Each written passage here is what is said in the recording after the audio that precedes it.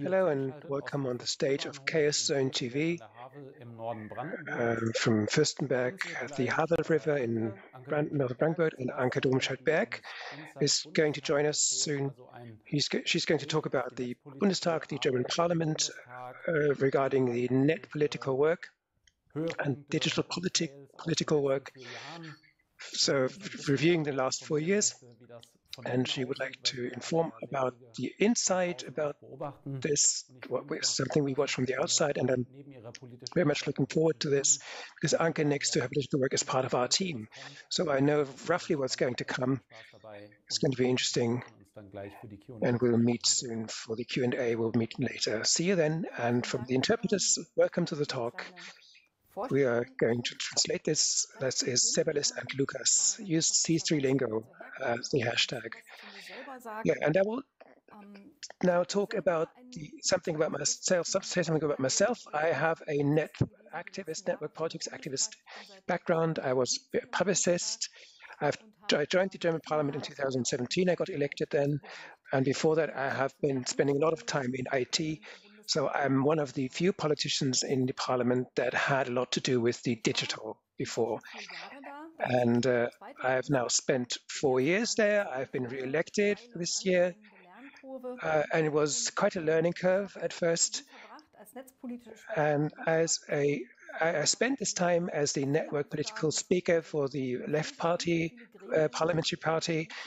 And of course, there are all kinds of committees that you have to staff First, there are the subject committees, and they have a digital committee where I was the responsible person for the Left Party, but I was also the deputy uh, member uh, for the Left Party in other committees, the one for traffic, transport, and digital infrastructure, which included broadband and 5G um, mobile phone licenses, and research and technology.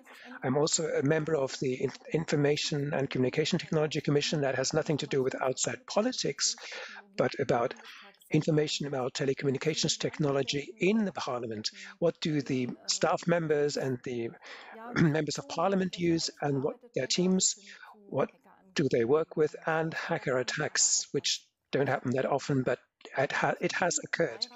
I'm also uh, a advisory member uh, of the committee that uh, was uh, dealt with the licenses for 5G mobile networking, and I was also in the inquiry, Commission of Inquiry on Artificial Intelligence.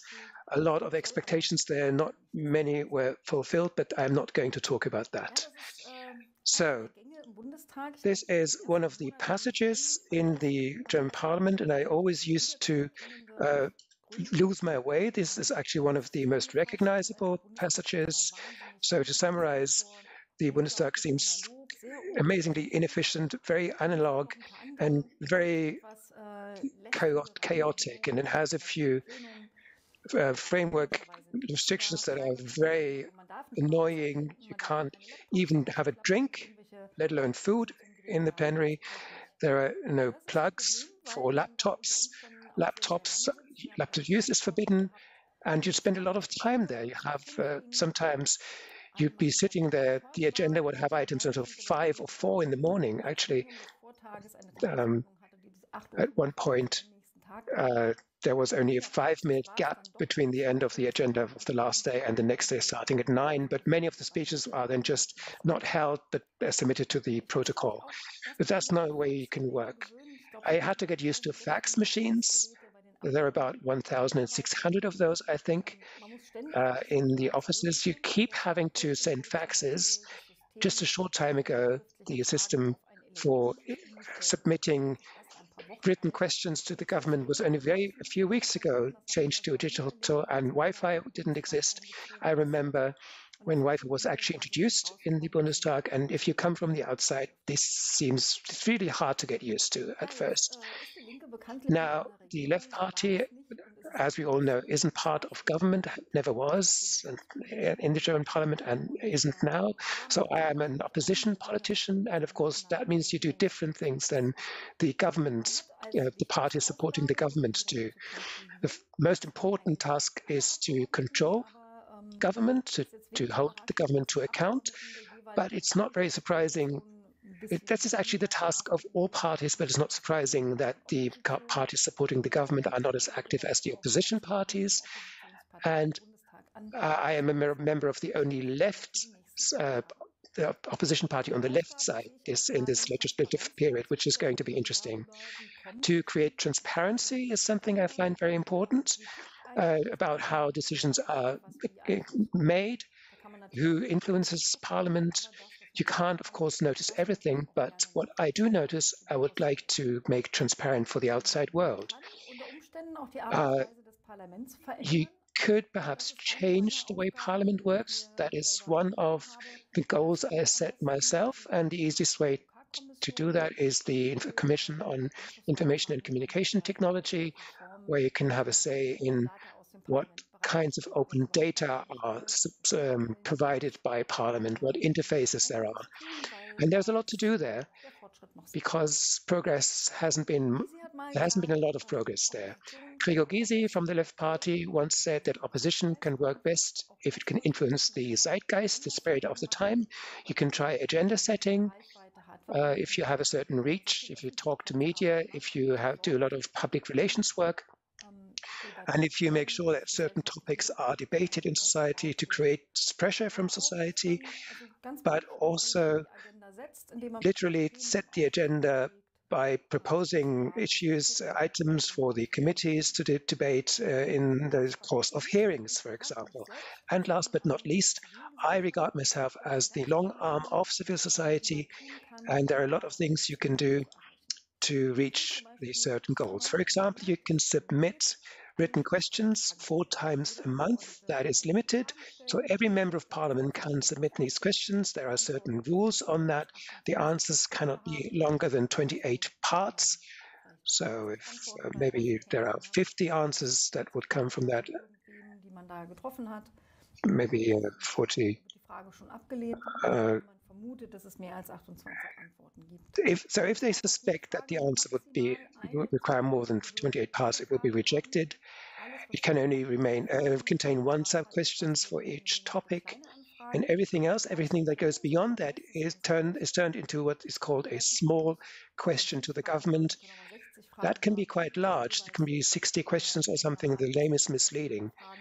You can have sub items A, B, C, D, E, F or something. You can uh, but it doesn't really help to write hugely inflated small inquiries or small questions. You can also write standard letters, for example, to the agency, the, the German authority on, on network and telecommunications, telecommunications networking, and as a member of the advisory board on the licenses, I was able to write a few letters there. Um, then, of course, the agenda in committee debates, you can try to set a agenda there, also in hearings but you can also try to get a certain certain values to, to be voiced there because you can suggest the experts that are invited to those hearings and what you talk about or what um, proposals you make, what, what that is something where you, where you can have a small influence on what happens. And of course, networking with the community is an important part because I get a lot of input from there for what I do. So what do you do? One legislative period, I counted.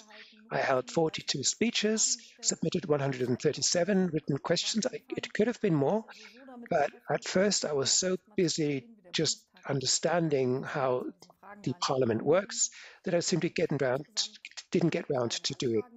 So I wrote eight of these small inquiries, and the word cloud here contains the topics in these.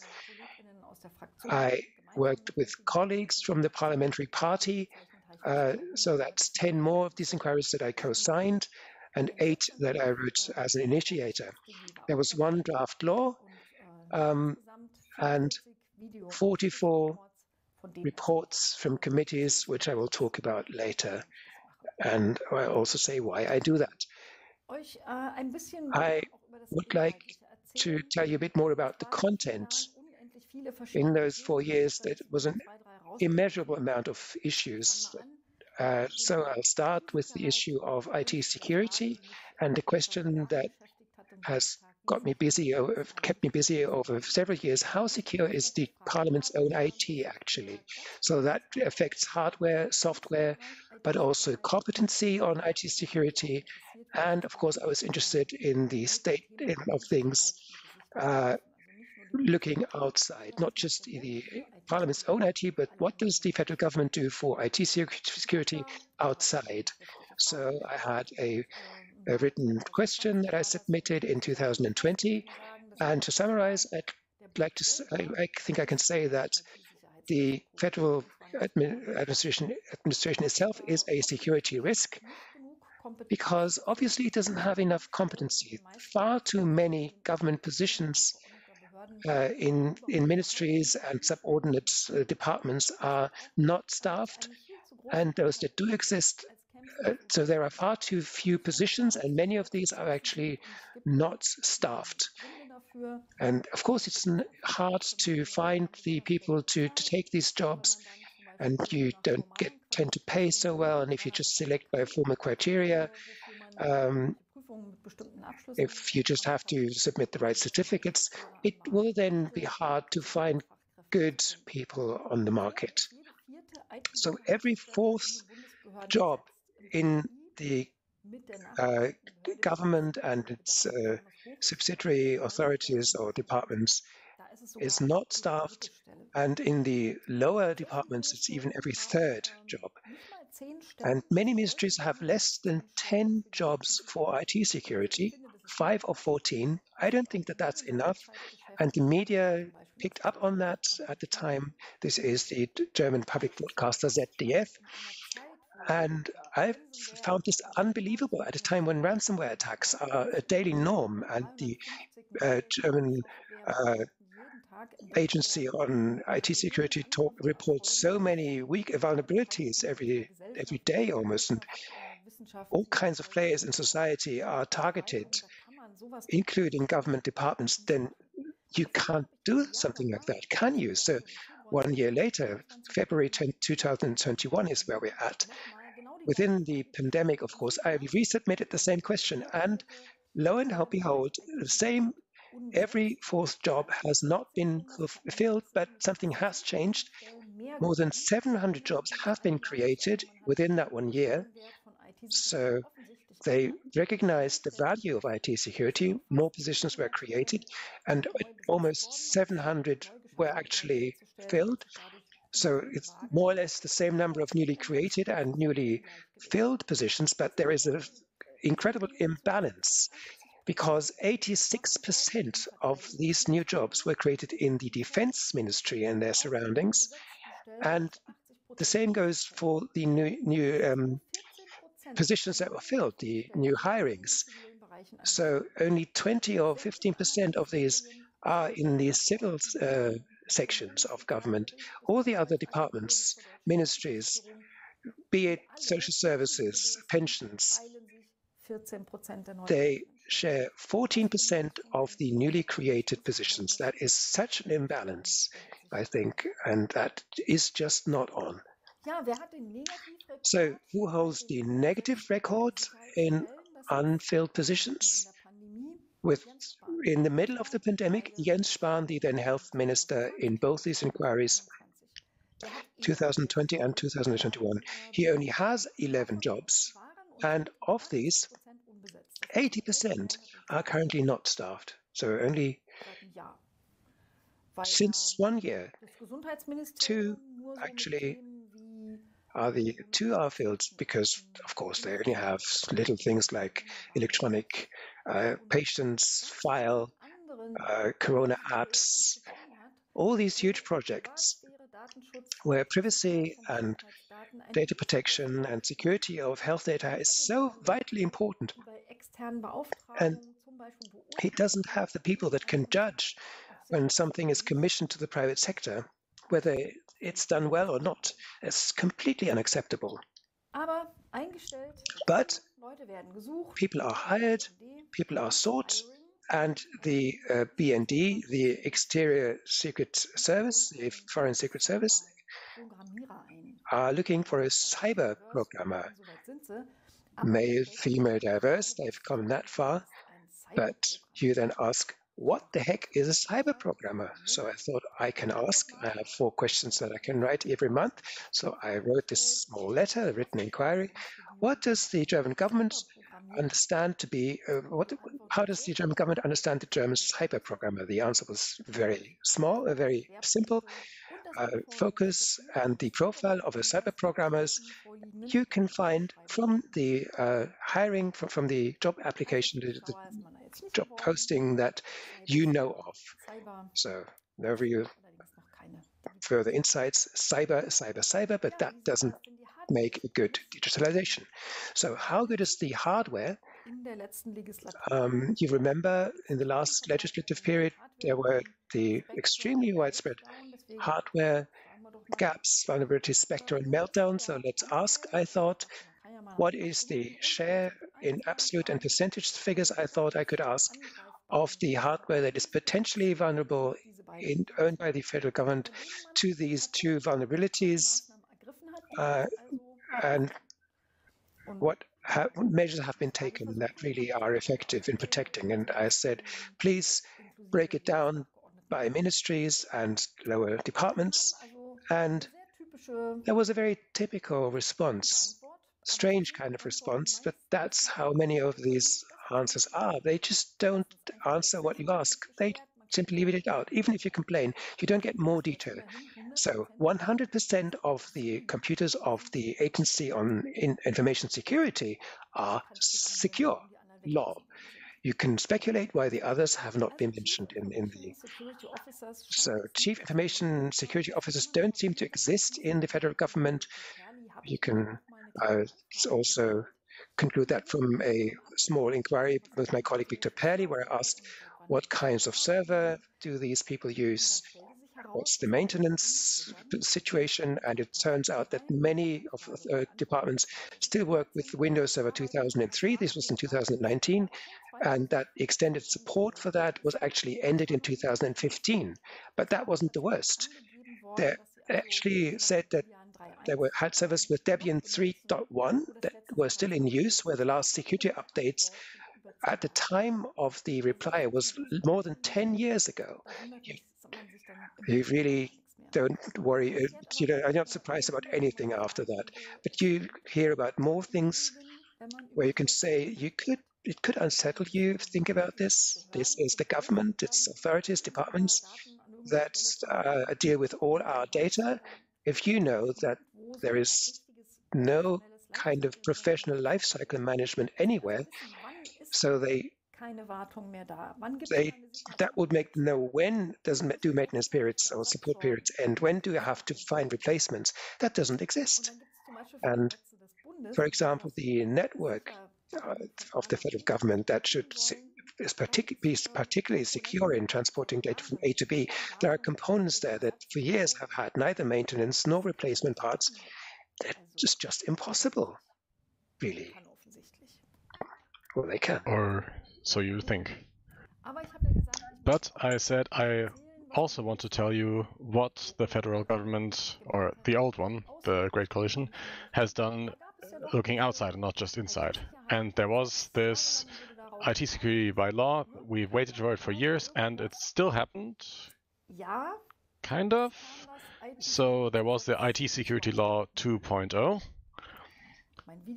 Um, and the report from my uh, parliamentary committee looked like this on its starter page uh, because there was a hearing and at this hearing um, each parliamentary group sends their experts, including the uh, Grand Coalition, and they sent their own experts, and even their experts um, completely took apart this IT security law 2.0. The CSU one said verbatim, it's kind of an anti-IT security law. So that was not very nice, and it definitely belongs in the bin. It contains a lot of weird things which don't really have anything, such as the IT security uh, seal. So kind of like the energy labels you have on fridges, which you hopefully look at before you're buying them to see if there's A or B. But this um, mark is different because it is A, voluntary, B, um, according to the company's own declaration. So they say, oh, I have a nice electronic radio here, it's super safe. I would like to have the energy label A for IT security. Sometimes, occasionally, it's supposed to be uh, controlled, but according to the paper trail. And I asked at some other opportunity at the uh, interior security, cybersecurity thing, if they think you might have found security vulnerabilities based on the paper trail before or based on documents. And because they uh, ought to know what they are talking about, and they said, nah, not really, but that is the intended process here. So uh, you declared yourself, according to the company, it is voluntary anyways, so only the ones who feel up to it will do it.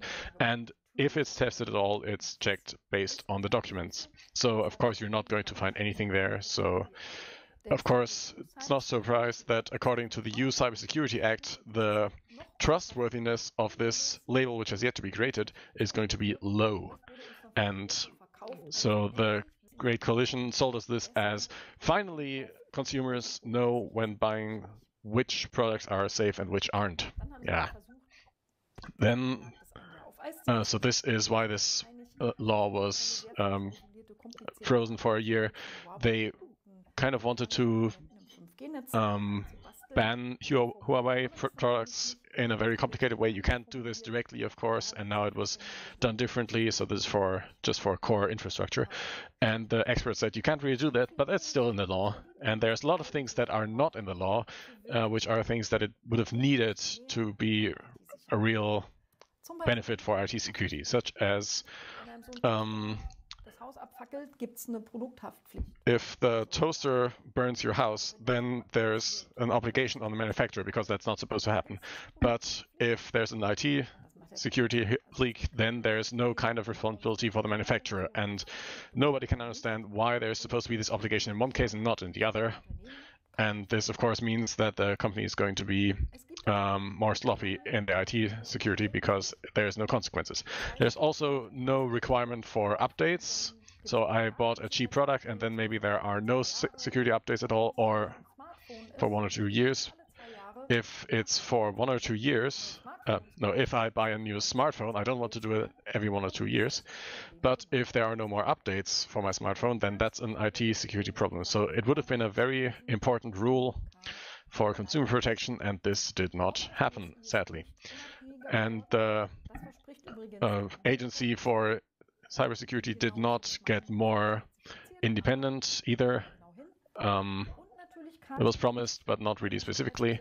And then, of course, um, because it always happens with other security laws, but it didn't happen here that the previous law had been evaluated. So you didn't even know, did the previous law help, and in which places did it help, how much, and where did it not help, and where might it even have done damage. This was not evaluated. It was just replaced with a new one and uh, expanded. And also there was no participation of third parties.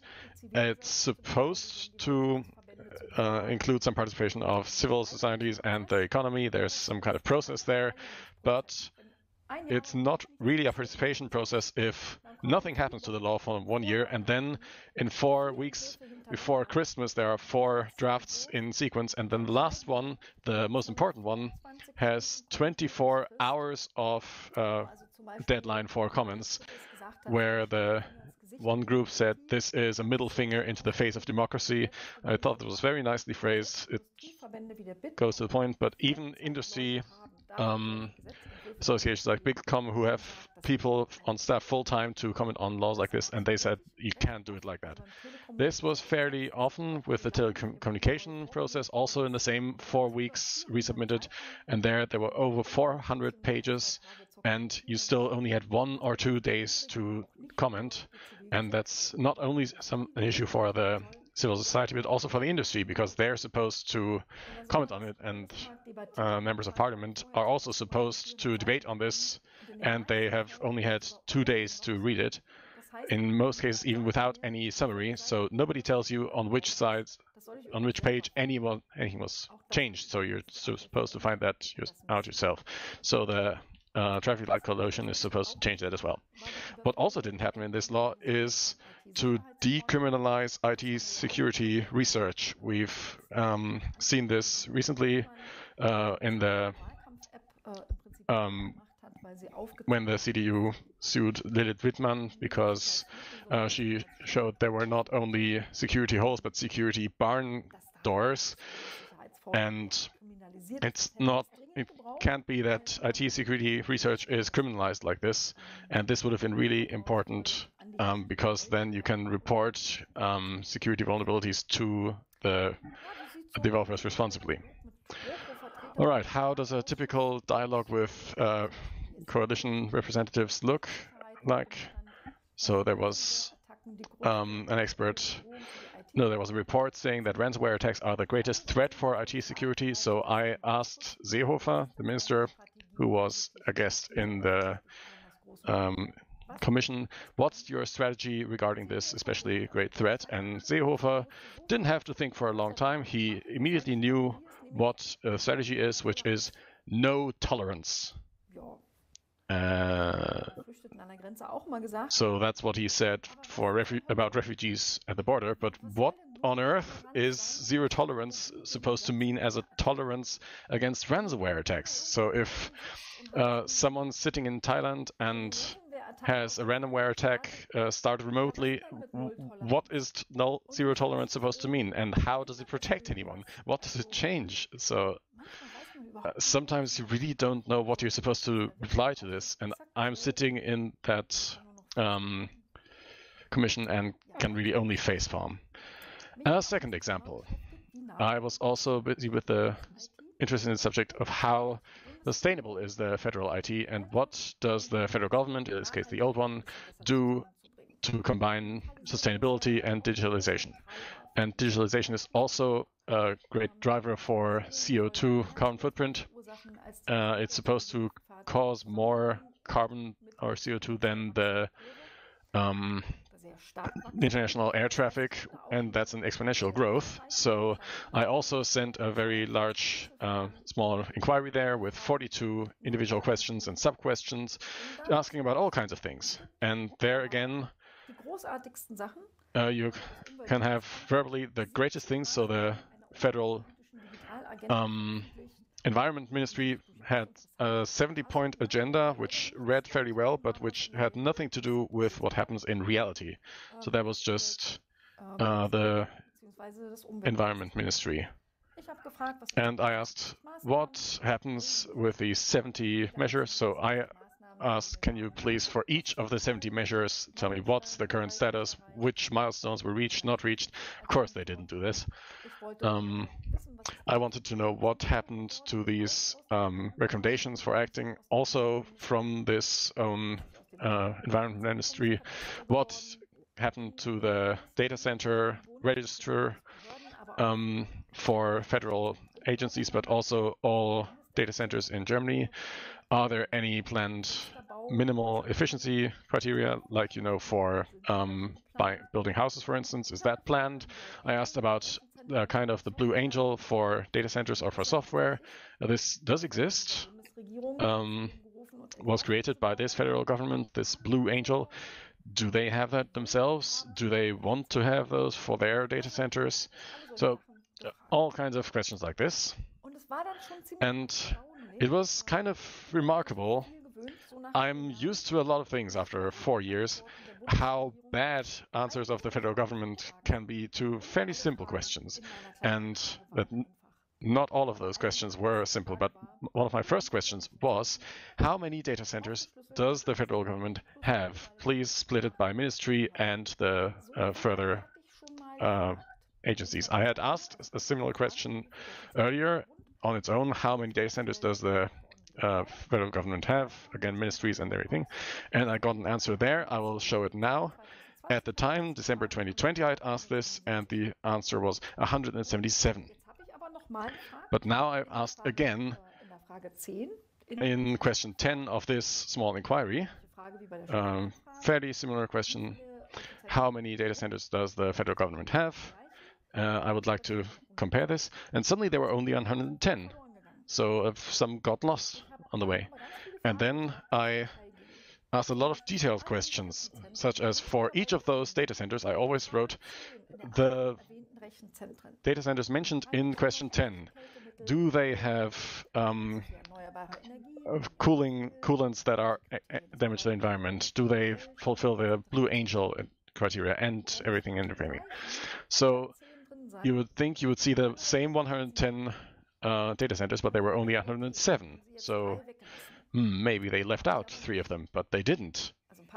So they named some of them twice. If you what you notice if you go through, but they weren't the same ones. So if you look at it closely, you notice that the in Ministry of the Interior had 2020 with my single question. They had 85 data centers for themselves, and in question 10 of my small inquiry, they had 14, and in this table where I asked for the details of those 14, there were none at all of the Interior Ministry, and they were all gone, or they didn't know anything about them. I don't know, they didn't say.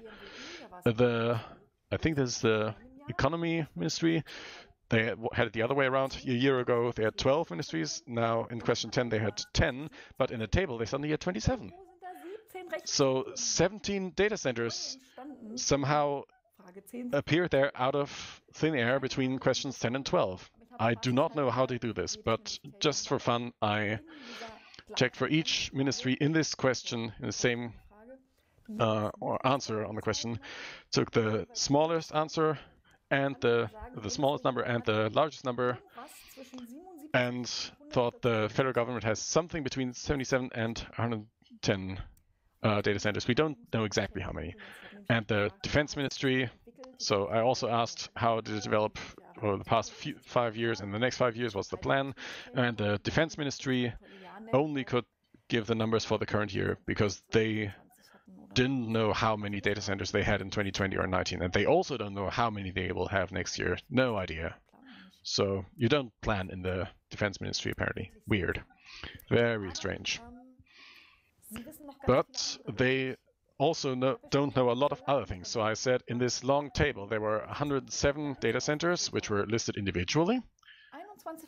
21% of those had no answer or the entry no answer about the energy usage. And with the next question, is the data center operated by ourselves or is it outsourced and someone else operates it? They don't know that for 21% of them. They don't know if they operate the data center themselves. With almost 40%, they don't know if they use the waste heat. With 44%, they don't know what kind of coolant they use, if they damage the climate. No response. And for more than half of them, they couldn't say what the proportion of green electricity is, or if there is any, in the data center. And also, they couldn't say whether it fulfills or it has this blue angel or fulfills the criteria for that for any for every second data center. And those which uh, for which they specified data, I looked at those closely, of course, and it doesn't really look that blue angel-y. So only seven of the 107 data centers use this um, waste heat. Oh, we can assume that the ones where it doesn't say they aren't the greatest one, I would just assume 48 out of the 107 use coolants that damage the climate, which is what they said themselves. I asked, do they use uh, climate damaging coolants? And they said yes. 28, only 28 have 100% renewable energy, and not a single one fulfills these criteria of the Blue Angel for data centers, even though the this federal government came up with this Blue Angel themselves. So that is um, quite some something to manage. I also asked, of course, does the federal government plan minimal efficiency criteria for data centers? And the answer was very typical because it says something like, data centers are very complex systems. And yeah, of course. And then a very beautiful sentence here the technology development driven by the market was also so dynamic so far with the uh, computational power of servers that a regulation would not have added any value here. So you don't want any minimal criteria. You could have also written that, but it doesn't add any value, believes the uh, Great Coalition. But we remember this uh, uh voluntary security label. Now we want a voluntary energy label for data centers.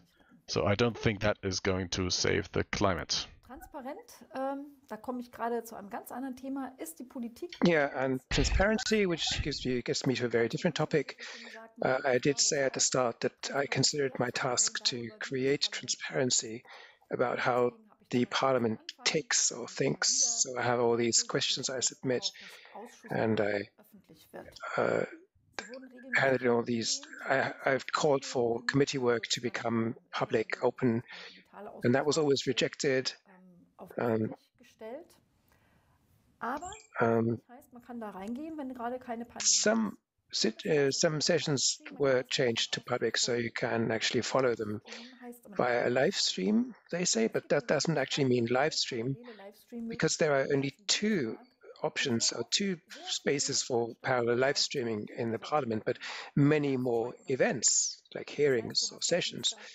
So you have the live stream on Tuesday and on Thursday it is being broadcast. So there is no kind of interactivity that where you can actually, uh, as a citizen, citizen, submit any responses. That is not possible.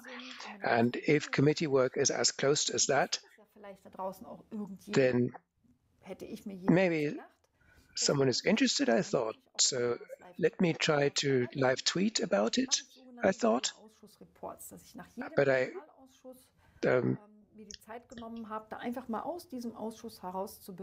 I would um, also write reports about the uh, video reports about uh, my work in the committees and uh, report about the previous sessions. For example, there are videos about the IT security law, about state Trojans, about uh, micro-targeting in cookies.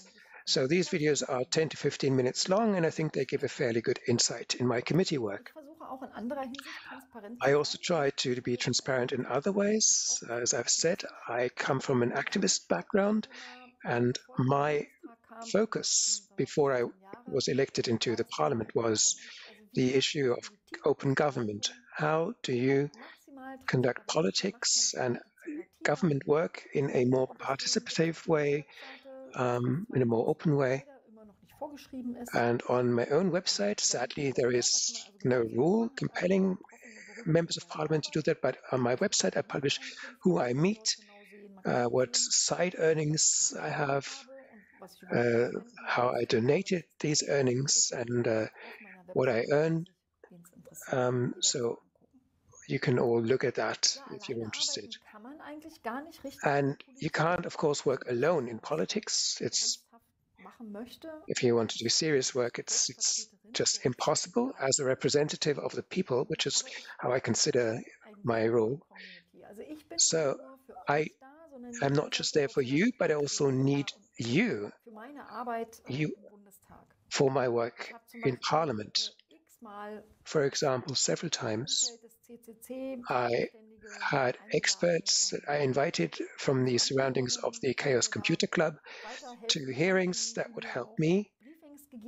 Uh, I also received briefings on all kinds of issues, be it the Corona warning app, IT security, this cookie topic, the right to fast broadband.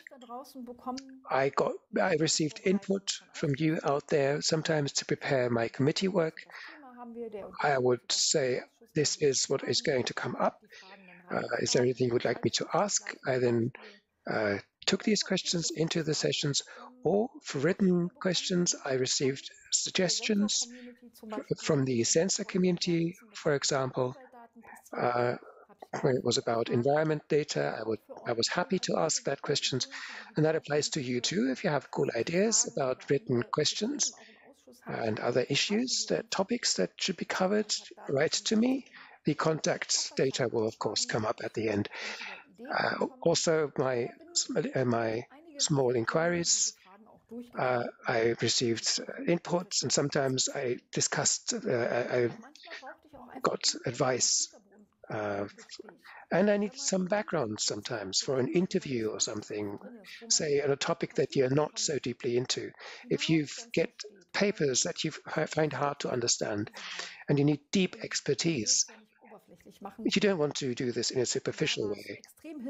And there it was extremely helpful to have the uh, Lilith helped me in the online access law. Um, when it came to vaccination certificates, Bianca Kastl could tell me everything about digitalization in health services. You probably saw her fantastic talk. The Luca app, there was a whole team there. Honk Hase helped me with cybersecurity, and there was an endless list that I could read out. But thank you very much to all of you. Without you, it would not have been possible. A small example. In early 2021, I tweeted about the Digital Committee.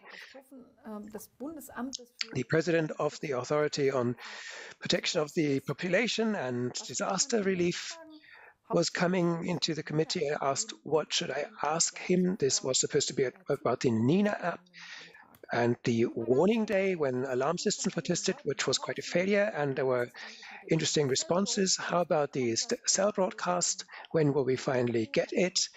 And of course, the EU has the EU alert system where they, well, they, they set the guidelines that uh, system has to be in place by 2022. Something like cell broadcast, nothing like that is in sight. So what actually went wrong with this warning day? What are the consequences? Uh, how about what happens if there's a larger power cut in the mo mobile uh, network? Uh, do they have uh, uninterrupted power supply? And I had interesting, I found out interesting things.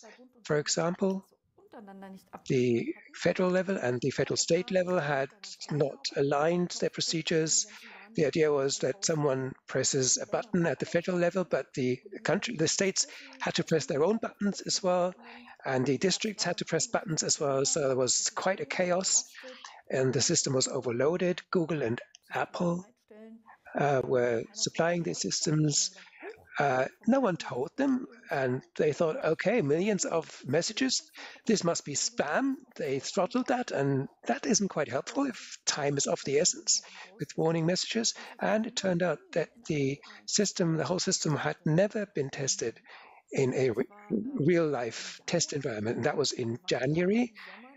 The warning day had taken place in the summer before, and they told that, that then in January they were about to develop such a test environment, but it would take until the end of 2021, so 12 more months for it to be finished. And then I thought, that is strange. Why? We had the warning day in September. Why? And you know why now? Oh, you're supposed to have the warning day in September this year. How is that possible? And of course, then the warning day was cancelled, the rep repetition of the warning day in 2021. So things like that are all in my video reports. This one in the report from the 1st of February 2021. And then, of course, we had the floods in Germany half a year later. So you would have liked to have the one catastrophic warning system, disaster warning system or other in place by then. So I asked what had become of this cell broadcast because in January in the committee I'd been told that they're just in the process of trying, but the telecom providers would say this is expensive, millions of euros. And I thought, well, maybe half a year later they know something. So I wanted an update and asked for it. And the answer was, we are still verifying, still looking. That was the decisive. Since the government is checking how an implementation of Article 110, and that is the EU alert, uh, either directive or regulation, this cannot be done overnight. So they're checking how the Article 110 can be implemented and how, under which legal framework conditions, uh, an obligatory, obligatory introduction of cell broadcasting would be possible. So that was six months later. And that was frustrating and very, very typical. I can't tell you all the zillions of details, but it was quite a struggle. And then, of course, we had something like, well, this pandemic, right? And that, of course, changed work in Parliament a lot. Some committees were notoriously holding their session in an analog way. Uh, the Digital Committee that would have been strange. So they were the first to have digital sessions, and there were very few options of teamwork, too little, too few provisions for uh, telephone conferences, uh, not enough. Uh, there is a Parliament cloud, which is still not functional. I still use it because it's even worse to have no cloud at all, but to co collaborate in a productive way is very hard in with this system. And of course, you have a lot of incompetent people to deal with. Uh, the head of the committee perhaps would say digital. No, I don't like that. And they decide whether it's hybrid, the sessions should be hybrid or analog or digital. So you might be finding yourself explaining what a video conference is and telling them you can just write into the chat if you have a question and you would have questions. What is a chat? What is a chat? You really don't know where to start. And that did not happen in the digital committee, fortunately. But due to many sessions being cancelled, you had a bit more time to go back to your constituency and uh, of course, there weren't so many presence events there either, but I was active in the Verstehbahnhof, um, uh, the digital classroom in the uh, understanding station. Uh, we built the digital classroom in the basement there, and a photo here uh, where I work on that wall here. Um, this is the wall that I am behind right now, in front of right now, and uh, you don't see what I see if I look forward. So that's where I am right now. And you see a few pictures from the space in the Verstehbahnhof and a temporary production site for face visors. This was as well. Now, with the new legislative period, of course, the uh, grand coalition that we had is thankfully now over. We have the traffic light coalition, red social democrats, yellow liberals, and green the Green Party. So we have issues like digitalization and sustainability, e-government. Uh, uh, they want to observe what's happening across the nation. IT security uh, becomes an, is still an issue. Digital education and machine readable parliament. It's something I would like to have in the information and information and communication technology. I would still like to be a member. It hasn't been uh, decided yet, but I'm pretty certain that I'll be able to represent the left party in that. And if the coalition treaty yields uh, certain issues of digital politics, of course, there's always nice things in coalition treaties, and the issue is what comes out of those treaties. So I will look at that and keep observing and keep accompanying that. And that gets me to the end. I very fast ride. I can say, even as an opposition politician, you can influence things. Maybe you cannot pass laws because you don't have the majority, but you can have an effect. You can make a difference. I can't do it alone, of course, but you are there, you help me, and for that, again, I would really thank you for four years of support by you from, for my work, which you hopefully will gain from as well. And that gets me to the end. There are some contact details here, and I'm now looking forward to your questions. All right, hello. Okay. Here we are. Here we are back in the Verstehbahnhof, uh, now in color and synchronous. Uh, that was an interesting talk, Anke. There are many questions in the pad. Um, now, the most obvious question, of course, is about food and drink. Uh, and, of course, you can't really imagine the question then if you, as MPs, cannot change that, who can? Who is responsible for changing this and why hasn't it happened yet? I wish I could answer this question really in a really good way. Well, there are, of course, answers. One of them is that the Council of Elders is uh, responsible for it, which is formed out of um, members of parliament, so they have it, uh, can do it themselves. but I think the fact that some members of parliament are okay with not being able to drink in parliament is that they've gotten used to it, or too many of them think that's normal. And if when new people come into the parliament, they think, huh, what?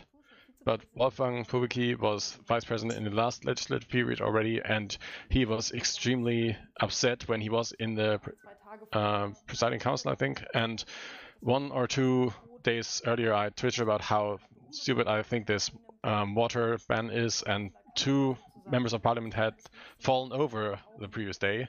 And when I was in front of his eyes the next time in the plenary, he interrupted the debate, talked to me, and said, this member of parliament, Anke Domscheit-Berg, wants to turn the plenary hall into a um, dining hall.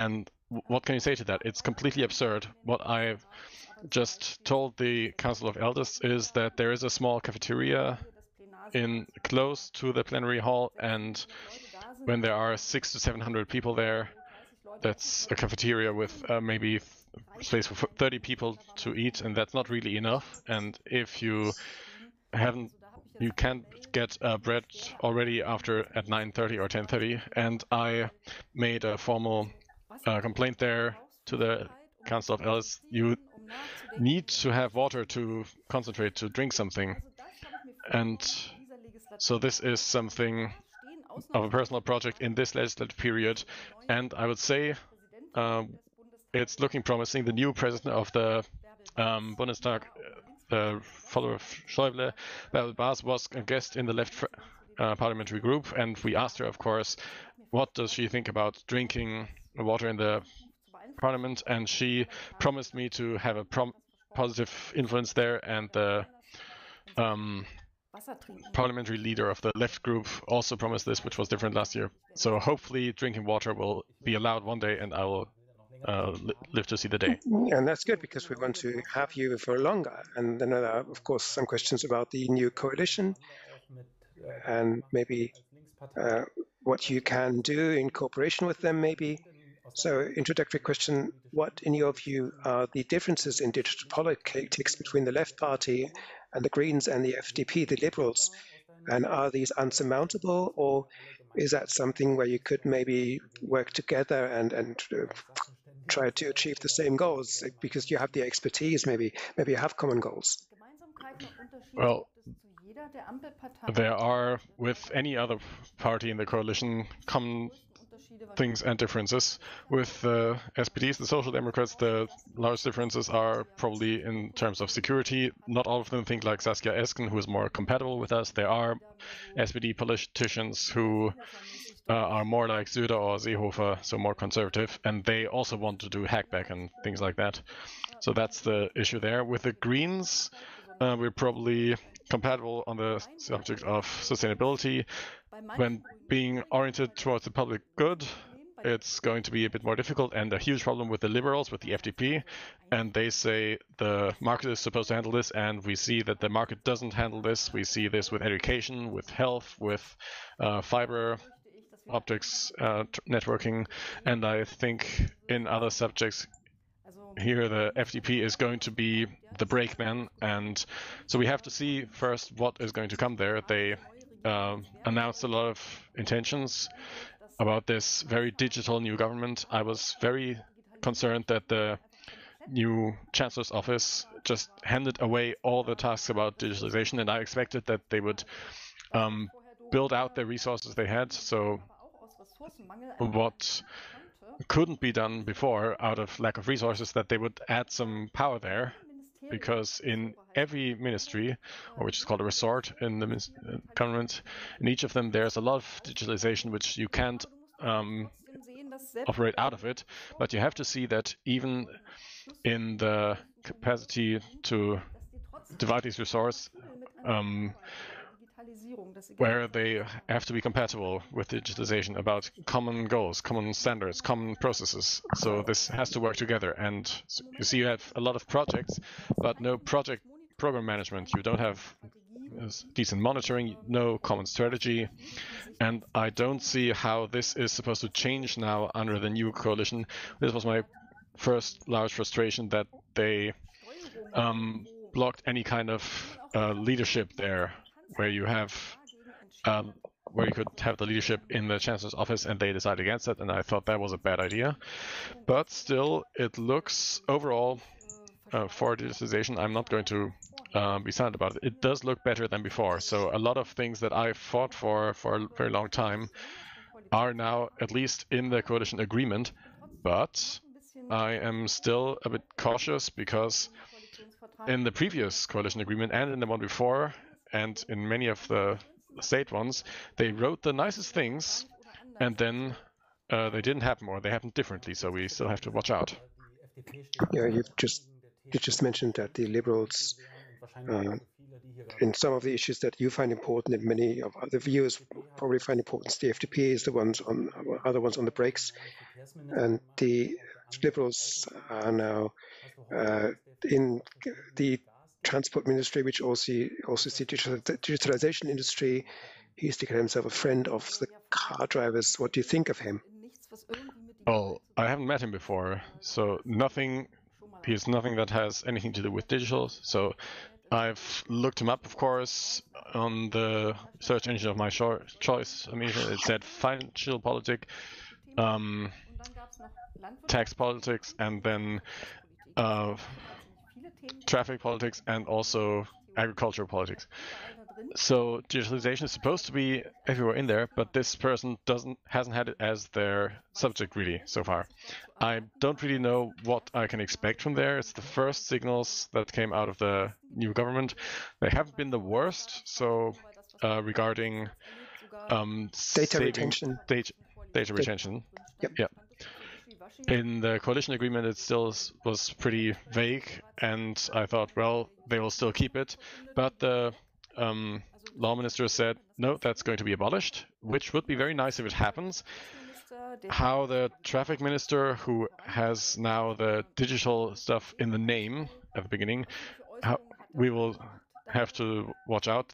He already made two statements where he put a strong focus on the digital things, and it didn't sound too bad. So let's give him his 100 days, and then we will see. But with um, bandwidth um, expansion, I'm very skeptical, which is where I believe in the power of the communal expansion, and I don't think the concert uh, companies can do this very well. So let's see what the FDP does. You mentioned telecommunications data retention. There was a question on that. What do you think about quick freeze? Is that a sensible compromise? Is it bullshit? Well, quick freeze is not uh, saving things for no reason, but it is saving things for some reason. So I have a certain person for a certain reason uh, under suspicion for a certain time, and I want to. I might not be able to prove it yet because um, things are still going on, but I want to make sure that the data is not vanishing because the um, communication companies will only save data for a few days. I think this makes some sense if it's limited to a certain reason. The main problem we always had is that it's supposed to be saved for everyone for no reason. So if this goes away, that's already a good thing. Uh, the signals so far are not that great, but the government is also um, fairly new. You have to uh, acknowledge that and the but the Digital Services Act of the European Union is starting to uh, take shape on the subject of cookies or um, ads that are based on your uh, behavior. And I think those ads based on behavior are a very dangerous thing to all of us because an incredible amount of, including incredibly sensitive data for all of us is being collected and we don't even know what happens to this data. This is in theory uh, constant um, GDPR violation, and we have to act against this on the European level. And we, this can only be possible with a ban of um, this kind of ads. And I would like for our federal government to be very active and vocal against this, and I have not seen that yet. There are some other questions about the general frustration tolerance that you need in Parliament. The question how you actually work with the lack of digital competency, do you have any ideas of what you would like to push and what your colleagues in Parliament uh, across parliamentary parties and groups, how they could be, become more enthusiastic about these issues. How can the awareness of digital politics or digitalization can be increased and what lobbying might be necessary? So lobbying work is in the digital sector being done very well for a few years now, especially that certain things with a specific wording were found in the coalition agreement is due to very effective lobby work. So the suggestions that came from the CCC, but also some others, such as the F5 um, uh, association, also had an impact. All of us um, members of parliament get something there during the electoral fight, and it was for some of us the first thing we dealt with these subjects. So this makes some sense, and keeping it short um, and brief makes a lot of sense because what we don't have a lot of as members of parliament is time, and what we have a lot is information overflow. So we have thousands of pages, then we don't have time to read it. If it fits onto a single page, then a lot of people might have still time to um, take it in. And otherwise, I think the most effective um, work can happen within a parliamentary group itself. So for a long time, within my own parliamentary group, I uh, had some complaints, and then eventually I was allowed to do a presentation internally. But I think we need this for all parliamentary groups. There are too many parliaments who say, "Oh, I'm an agricultural politician, I'm a traffic politician, I'm all of this," and digitalization is only going to be done by the network politicians, and that's not how it should work in a digital society.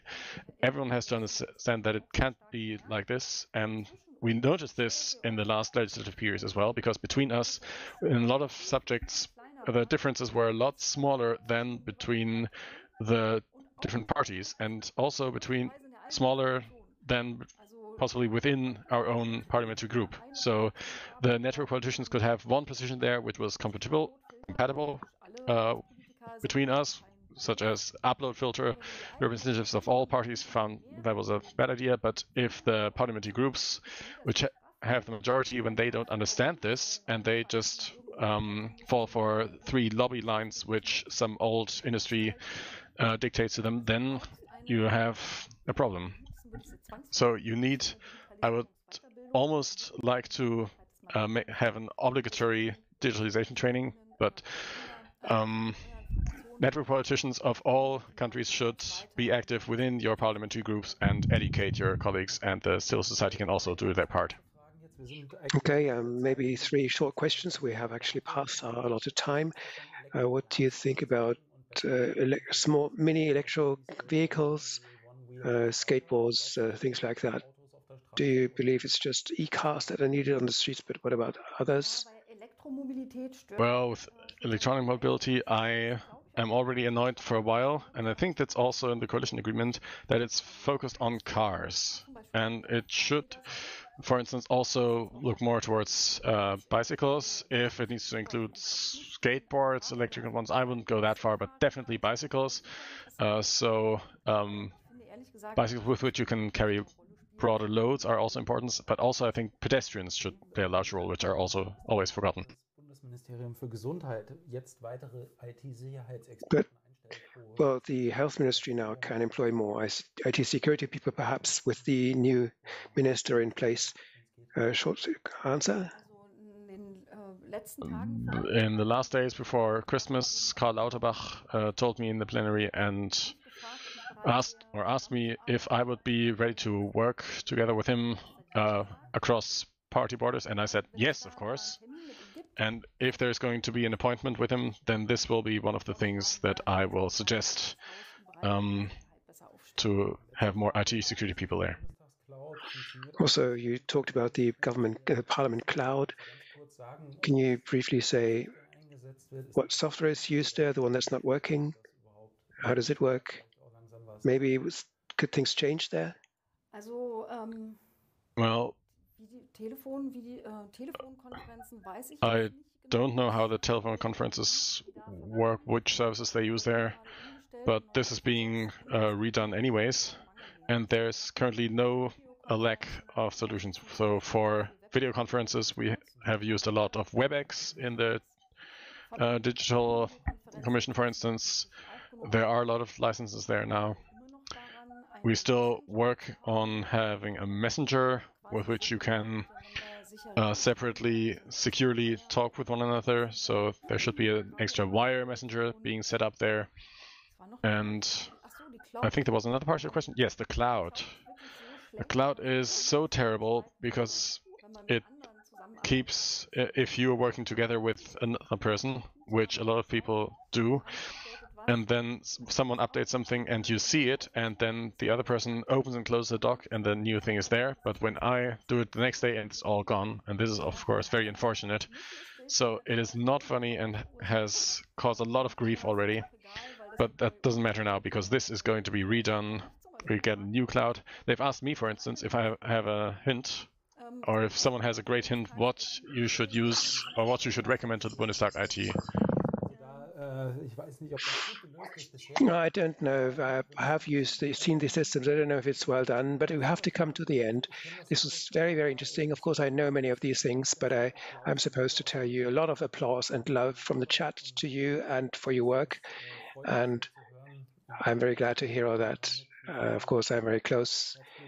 Uh, I know how much passion uh, he's suffering puts yeah. into that yeah because these are husband and wife talking right now or wife and husband i should perhaps say uh, now talking about uh, the legacy website of Anke uh, has a, an expired certificate, I was told, and this has been repaired as this was said. Sorry about that, and thank you uh, and I am also supposed to tell you that uh, after this, the stage at Chaos Zone will feature a spontaneous zone chaos with the radio crew of the Chaos Computer Club of Potsdam. Great people, all of them, and uh, this is all great. And uh, you should stay with us and see that and stay healthy. And thanks to Anke. And um, thank you from me too. And if there was any question that you weren't able to, to, to pose, please contact me, anke with the new certificate. We'll give you all the details. Goodbye.